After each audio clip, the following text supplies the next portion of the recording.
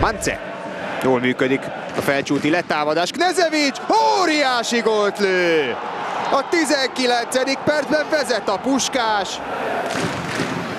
Itt lehet látni, hogy hány fehérmezes van ott a fehérvári térféle, hogy zavart keltsen, ez sikerül is. Lekészítik Knezevicsnek, és védhetetlen bomba ballal. Talán egy kis külső is van benne, egy kifelé tekeredik, távolodik a kapustól. Rockov hiába nyúlik.